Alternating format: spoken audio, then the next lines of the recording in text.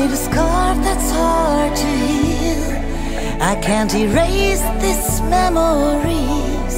We had this taste of paradise, paradise.